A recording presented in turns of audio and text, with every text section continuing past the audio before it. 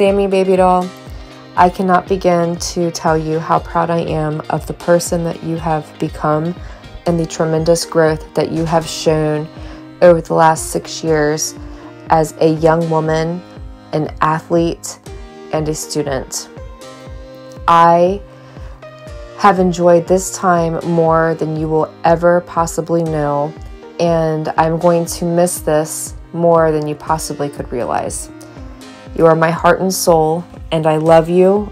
I'm proud of you, of the adversity that you have overcome, and how hard you have worked to get to where you are. Mommy's winging this, so now I'm going to let Jeffrey talk. Sammy, congrats on your senior year, finishing up a high school career. Uh, it all started with local rec leagues, then long trips, late nights in the gym, on the shooting machine, uh, far off tournaments and hotels, waking up to you smother me with a pillow. and then obviously these uh, the recent memories and experiences you've shared here with the Dixie. We're gonna miss all of them, but more than anything, cherish every one of those moments. So uh, sad that uh, we're closing this chapter. Uh, looking forward to uh, what you have next in store. Love you, Sam. Love you, baby doll.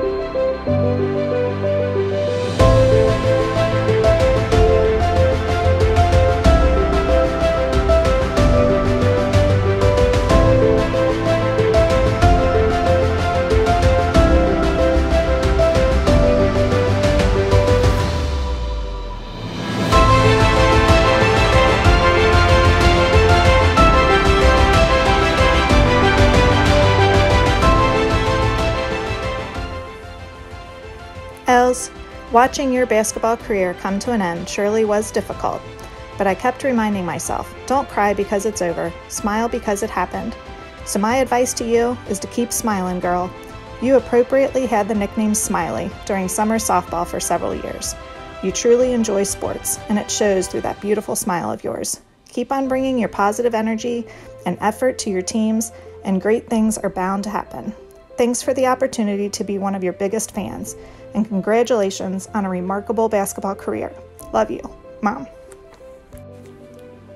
Ella, there simply aren't words to express how grateful I am to have shared the gym with you for the past six years, creating so many amazing memories. You had the work ethic of a champion and a heart of gold, both of which are the foundation of the person you are today. I've loved every second watching you grow, leading with compassion and unselfishness, and doing what is best for your team always. From a coach's perspective, it was simple. You were coachable, you did the right things in the right way, and it helped you and our team. From a dad's perspective, you've given me a lifetime of happiness, and I am beyond blessed.